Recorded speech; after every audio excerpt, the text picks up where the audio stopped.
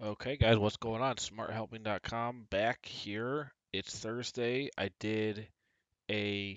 I showed you the start of this model on Thursday. It's for a driving range. I've now completed it, a full 10-year financial model. So uh, I'm really, I really like the logic for the revenue assumptions. I feel like that's going to possibly have other uses, but you know, right now it's it's mainly this template is for a driving range. Um, who knows what else it might be used for? You'll see once you see the logic. Also, I did a a fairly in-depth tax. Well, you'll see on the taxes, but I did do taxes. I did not do depreciation logic. Um, but there is capex and, and it's basically EBITDA and cash flow. That's what you'll be able to see at the the bottom line. Um, so what I'll do now is go through every tab, all the assumptions, and at the end you'll know exactly how this works and exactly how to use it.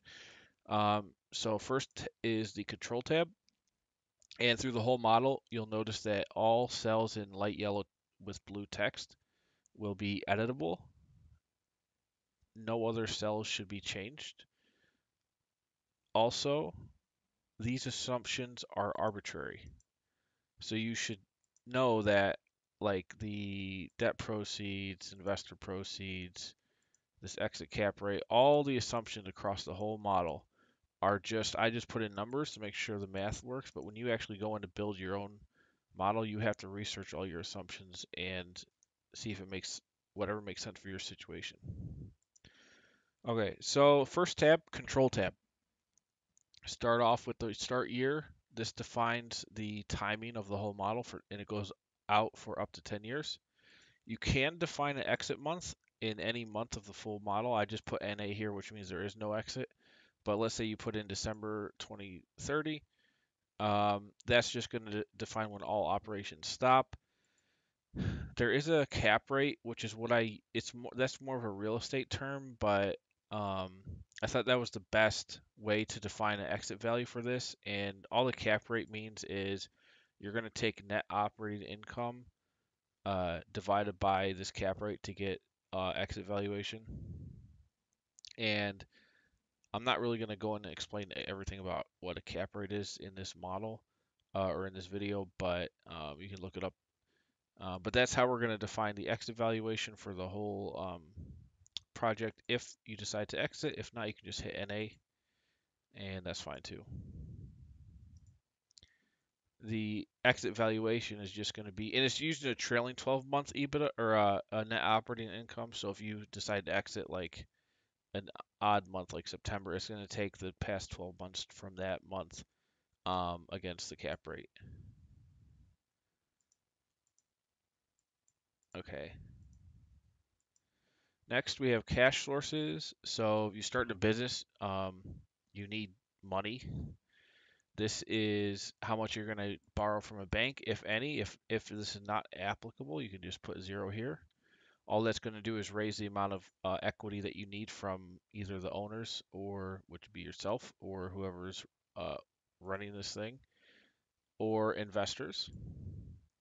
And so this shows you um, if you put in an amount for investors, share they get, you got an implied valuation, and then any amount remaining after that. So this is saying you need 432,000 um, to fund the the project. Um, 250,000 is from investors. The rest is from owners. Now you could put all of it from investors. Let's say you put you know 432, 719, and that's fine. You you, you could define how much those investors are going to get. Um, if there are no investors, that's fine too. You can put zero here, zero there. Um, the div error here is no problem. And you'll just see like on the distribution, it'll just be for the project level, which is going to be the exact same as the owner cash flow. Um, let's move on. Oh, let me undo this. Put some values back into here.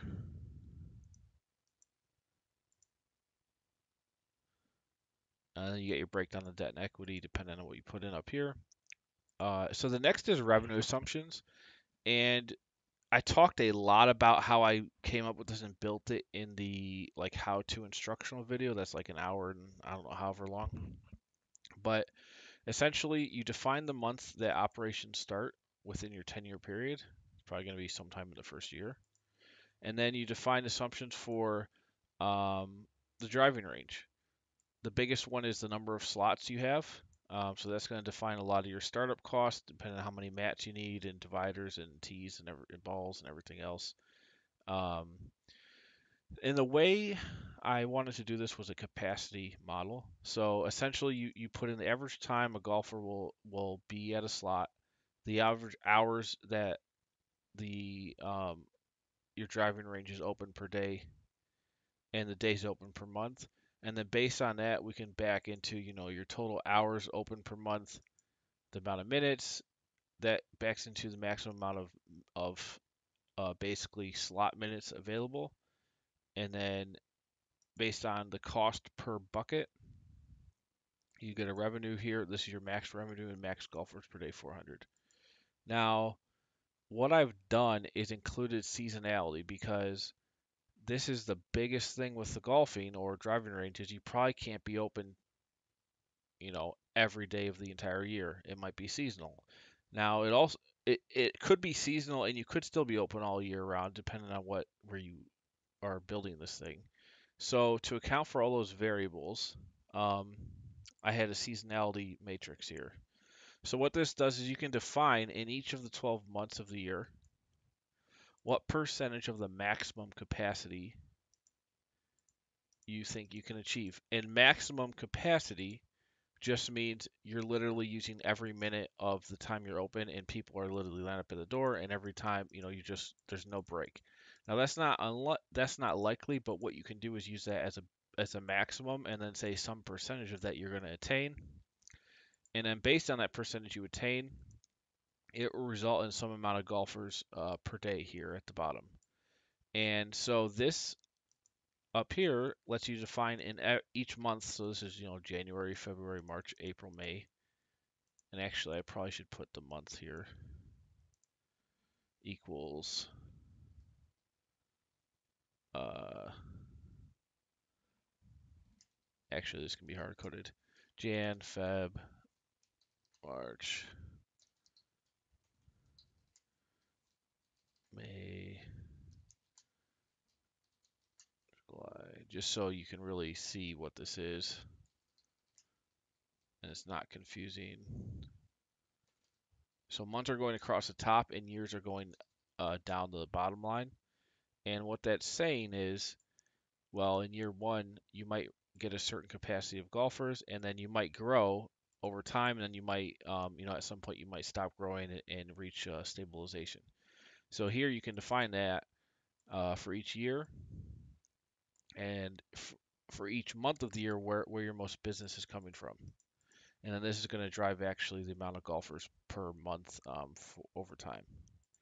Now this is a little helper calculation down here where you can look at each year and sit and this is going to show you the max based on your total slot uh, driving range slots that you've you've input on the revenue assumptions here in row seven. This is going to show you the max golfers that could ever exist in a given day, and then based on your percentage, it shows you the, the expected golfers per day at a given percentage. And so you can use this to estimate what you think these numbers should start at and how far much they should grow to at a given year. Um, so these calculations don't go anywhere. This is just to help you. These calculations do go somewhere. This is going to drive, well, the entire model. So that's revenue. Let's move on to startup costs. So what I've done here is I figured out the main startup costs for driving range, which is, you know, mats, balls, buckets, tee drivers, rubber tees, ball trays. These are the main variable costs at startup. So that means it's based on how many driving slots you have. There's unit cost.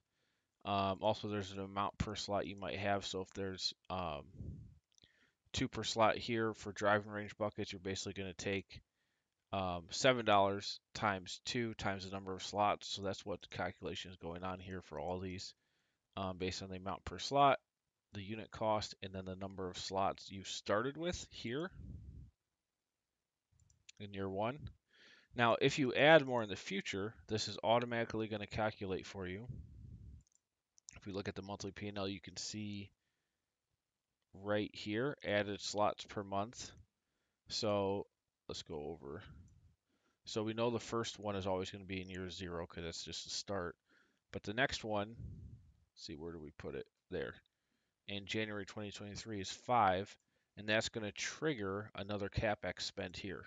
And you can see all the different variable startup or variable costs for that. Um, so that's all automated. There's then initial startup costs that are not automated. These are, are not going to go forward in time, which would be like your initial banners for the driving, for the yardage, ball dispenser, ball washer, uh, a, a, cage, range ball wrecker. And then I put land and construction here. If you are, instead of renting, let's say you're actually building on land, buying land and building your range on it, that, that would go here. Um, and these are your total initial startup costs, along with this, these.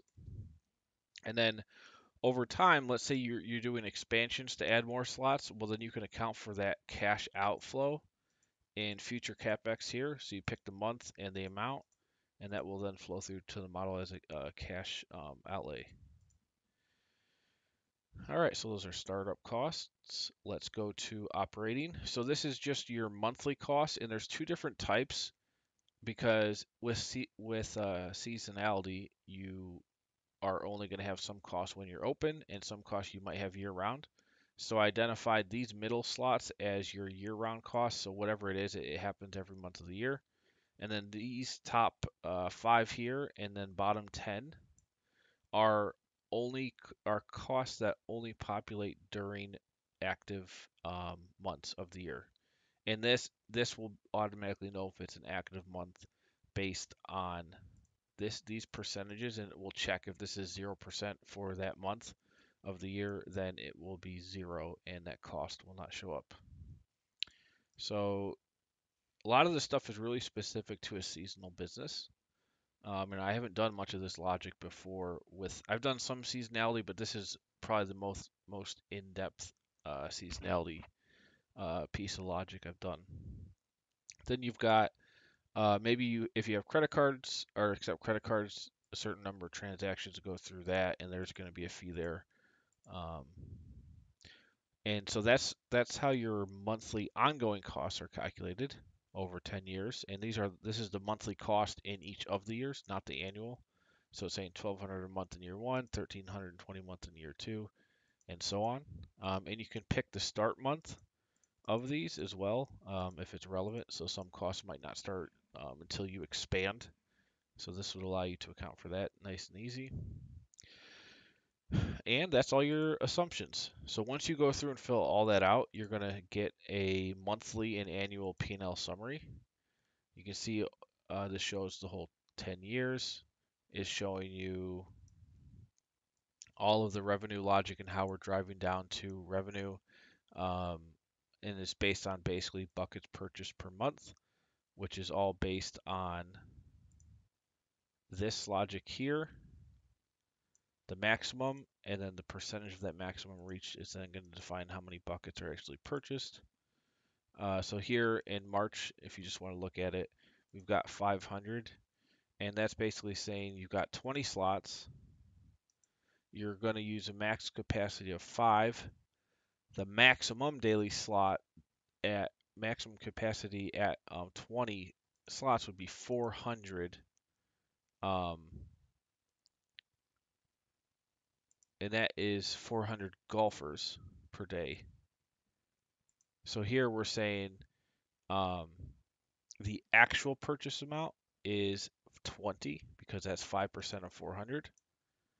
And then we're multiplying that by our revenue row 10 which is the amount of days open in a given month because we got to convert the daily amount to month to uh, the monthly total because we're doing a monthly summary here. So 20 per day times that by the amount of months you get 500 per month and then you just multiply that by the cost of or the price of a bucket to get the revenue. And so that is how revenue is calculated. You can see we just did more in the summer so like in June, we could have a max of 400 uh, per day. If we reach 30% of that, it's 120 per day. You multiply 120 by the open months, you get 3,000. You times that by the bucket cost or the price per bucket. Now, the other calculation as kind of a sanity check is row 13, and this shows you the amount of, of times each driving slot is used per day. So you've got 20 slots, and on average, each slot is used six times per day.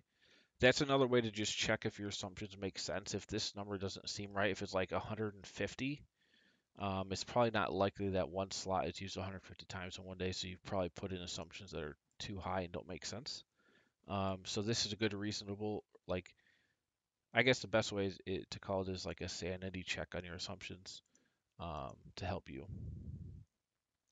Uh, operating costs work just like I explained, all di dynamic based on what you put in the assumptions. Your net operating income is then based on the revenue less those operating expenses. Then we've got debt service, if applicable, debt balance, debt proceeds, debt repayment, so if there is an exit and there's an exit value, it assumes the debt, whatever it is, would be paid back at that month as well.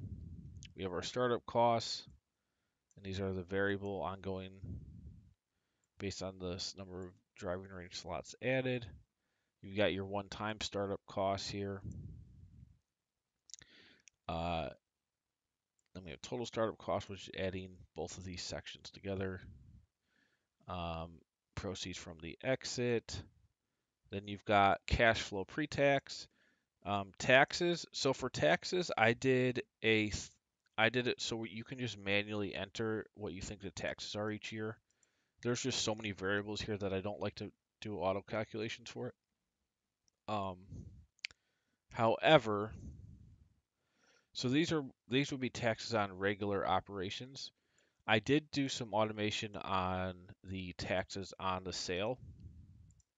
So I put um, right here in, in cell C8 the tax rate on sales proceeds. So I just put 20% out. It could be, it varies by region, but that will then flow into whenever there is an exit. Let's put one in here just to see it.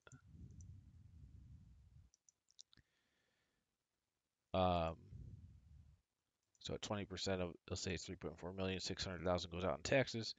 Net proceeds is this and that all flows down to um, well pre-tax cash flow, taxes, and then and then uh, post-tax cash flow is going to take your operational taxes less that those taxes on the sale um, plus whatever the pre-tax cash flow was.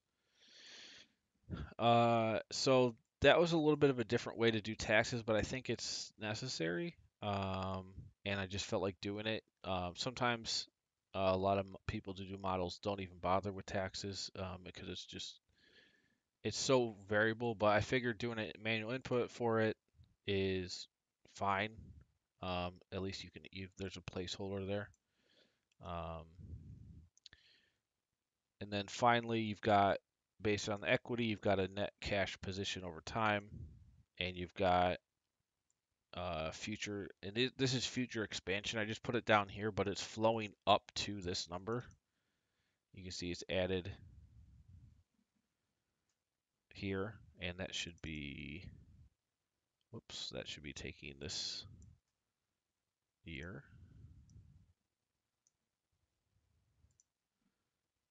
Save that. Make sure the monthly is doing the right timing. Yeah, that is. Double check one of these. Yep. Okay.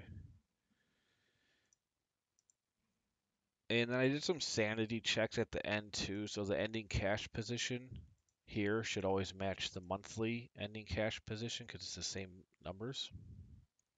So this is 4.378 million. Here you get 4.378 million. Executive summary 4.378 million. So we have the right numbers uh, populating. Um, also, this should equal your annual cash flow after equity.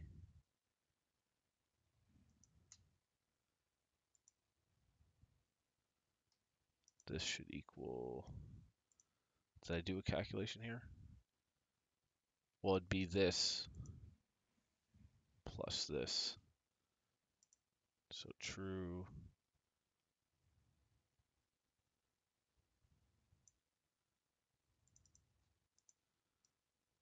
True, true, true. Okay, so that's good. That's just a good checker. Um,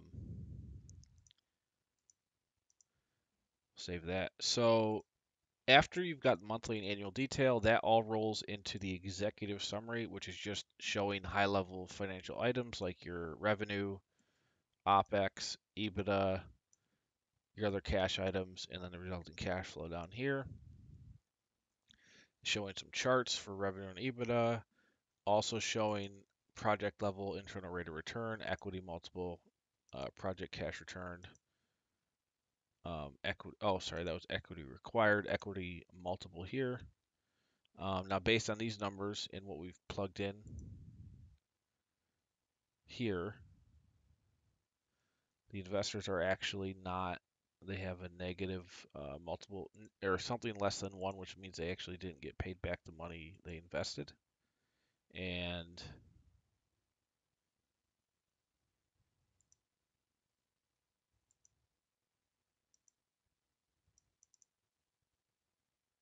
let's see if we. Oh, hold on. We got to extend this out for 10 years. So I normally do five years. So let's let's do that real quick. So that's going to L. I just don't feel like restarting this video, which is so I'm just gonna do it right here. So that goes to L. So right, it's 11. I was gonna say I know there was more cash to the investors than than they put in, based on the assumptions I have in here. So this needs to go to L. Okay, that makes more sense. And L 2.6 plus 3643. Yep. Okay, that looks good. Yep. So the project level internal rate of return should always be somewhere in the middle of the investor and owner. It'll always be in between these two. That's another good way to check if you've done the calculation right. Um, so this is this kind of cash flow analysis, which is going to show the amount of cash available to distribute each month based on the positive and negative monthly cash flows, the amount of equity remaining that's been already put in. Um, because this is going to count the cash needed is going to count any burn or negative operating months um, to the overall cash position, which I think is the most accurate and best way to do this. Um, so project level, we already went over that. You can do a discount rate and get a net present value for that. Um, you can also do that for the investor portion and the owner portion with different discount rates and get a net present value. Um, you also got internal rate of return of each um, and a little chart to show the cash flows for investor versus owner. Then we have visuals, the last tab, and I like let's put the exit at NA just to see these a little bit nicer. So key financial results per year, revenue, costs, EBITDA, annual cash flow post-tax, monthly cash flow post-tax. You can see these dips are when you've got expansion costs going. Uh, cumulative cash flow, um, percentage of max capacity achieved. I thought that was a decent percentage to show on a, a monthly and annual basis. Um, basically saying if you had people lining out the door, this would be 100%, like for the whole time you're open, and 20% saying, well, you're 20% of that. Um, I don't think anyone ever would have this at 100%, but um, your seasonality and percentage assumptions will define this. I also put in average times driving slot used per day. This is a sanity check. I thought that was a good visual to have, um, monthly and yearly. And then I also put average EBITDA per slot per year, which is based on executive summary. I just took the total slots at the end of the year. Um, well, the EBITDA divided by the total slots at the end of the year to get that um, those numbers. All right, well, that is going to do it for this model. I'm going to post it to smarthelping.com. I'm going to post it to Eloquens. I'm going to post it to eFinancial Models. Um, it'll be a one-time fee of $45 to purchase it. And I encourage you to check out smarthelping.com I've got over hundred templates I've done in the past six years. Um, all kinds of industries, all kinds of uh, use cases as well, not just business like business models like this or or uh, financial models, but also inventory tracking, ARAP stuff. Um, a lot of good financial calculators for different things. Uh, cost of goods, uh, FIFO, cost of goods sold stuff. Um, just all kinds of things. So feel free to check it out, and I'll see you guys on the next one.